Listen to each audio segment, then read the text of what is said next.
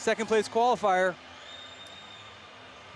And he's starting off in the shallow, getting some speed to carry into the round wall.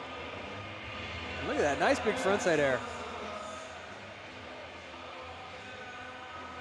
And again, now he's heading over to the square. You do one trick in each bowl, it's gonna take a lot of oh, energy Oh, to get around. Little bottom landing on that backside air. Yep. Lucky to keep his speed. Ooh, nice Wow. corner air. Definitely a bottom landing.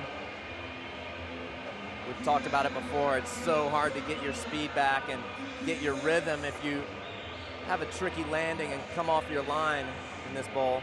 Yeah, I mean, if you could just power up and do an axle stall and kind of take catch your breath, but you really can't. You have to Yeah. just keep pumping. And, you know, even regular runs, the amount of pumping you have to do in this bowl is not like a vert ramp. The It is. does not let you take.